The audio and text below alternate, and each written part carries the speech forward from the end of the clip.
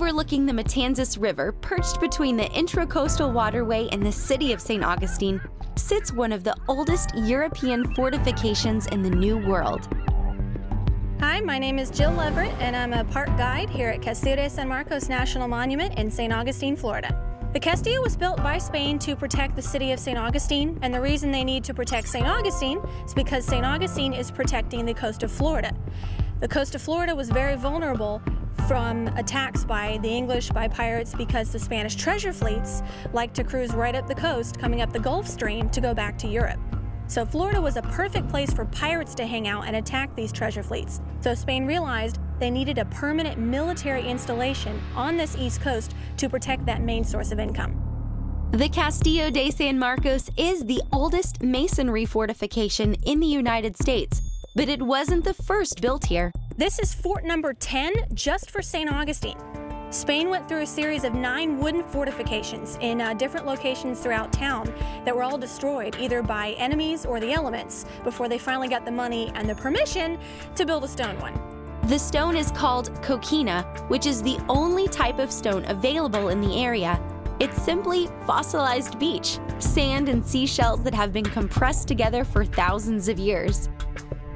It's a relatively soft stone. It's porous, which means it leaks. If you get a close look at our walls, you can see there are plants growing out of it. But it also means that it stands up really well to cannon fire because instead of shattering under the impact, it actually compresses and absorbs the cannonball. So they would just stick in like you were shooting BBs into styrofoam.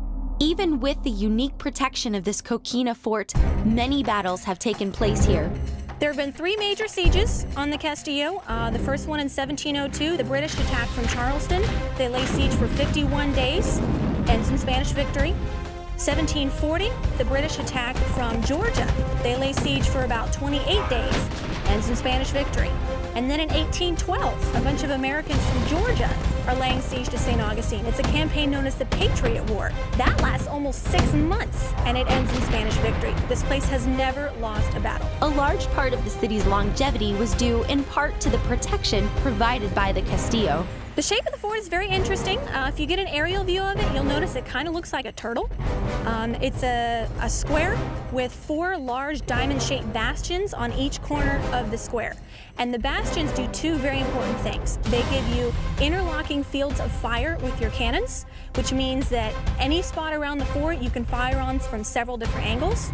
And it also means there are no blind spots on our walls, because if you have somebody upstairs on the gun deck stationed on every corner, they can see every outside wall of the fort, so nobody can sneak up on us. The fort was essential to the survival of the city because it was able to hold all of the residents during an attack. Protection behind Coquina walls was one thing, but to be truly effective, the Castillo required weapons.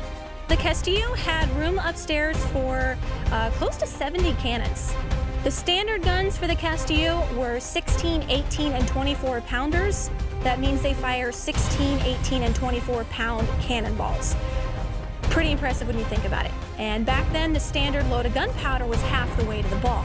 So if you were firing a 24 pound cannonball, you'd be using 12 pounds of gunpowder to fire it. Imagine the noise that would make.